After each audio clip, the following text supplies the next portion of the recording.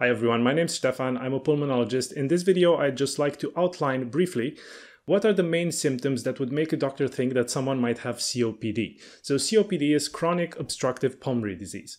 So this is a condition in which as we're breathing out, we can't really get the air out. There's an obstruction. Chronic just means that it's a disease that will be there probably for the rest of the patient's life.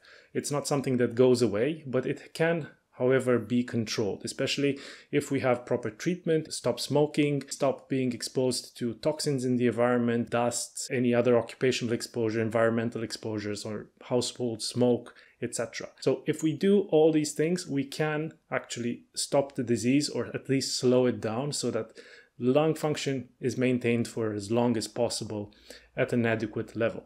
And for this reason, it's really important to try to diagnose COPD early. And unfortunately, many patients actually continue to smoke despite having quite significant respiratory symptoms, and they seek medical help when it's not necessarily too late, but when treatments are less effective or when they actually require a lot more treatment that they would like or prefer or expect. So it's a good idea to know what symptoms are suggestive of COPD.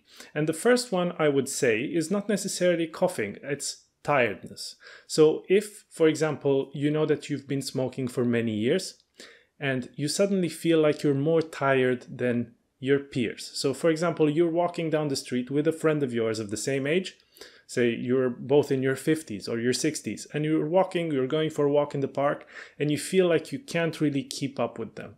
That's a sign that maybe there's something going on, and I think you shouldn't put it down to just growing old, but really you should try to seek a medical advice from your family doctor or another doctor in your area. The other symptom, of course, is coughing. So, coughing, especially with sputum, that seems to be there for a long time. Some people always put it down to smoker's cough. This is something that I'm not really a fan of, of this term smoker's cough, because it does imply that there's something going on. And probably smoking doesn't really help in that situation. So, if you've been experiencing a cough, for example, for the last two years or so. It's productive, it's, it's a wet cough, say, and it doesn't seem to go away. You've grown used to it, or maybe some family member has mentioned your cough. Maybe it's also a good idea to check with your doctor whether COPD might be a potential diagnosis. Now, in many cases, when you have a productive cough like that, the doctor may just diagnose it as chronic bronchitis. But in these situations, it's usually helpful to also have a spirometry.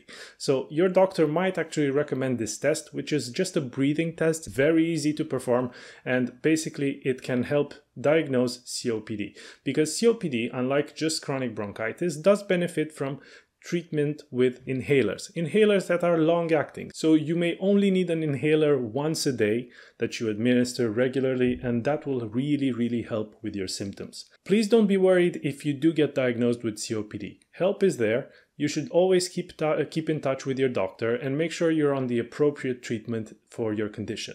And also, you need to perhaps look into other potential comorbidities, we call them. So, other conditions you may suffer with that may be associated with COPD and treat those as well. And if you have a good partnership with your doctor and you discuss these things openly, you seek medical help at the right time without postponing it too much or putting it down to old age or bronchitis, smoking, etc. It's always a good idea to do that, and it might actually help you have better health outcomes and a healthier life for longer. Hope you enjoyed this video, and I wish you all the best and good health.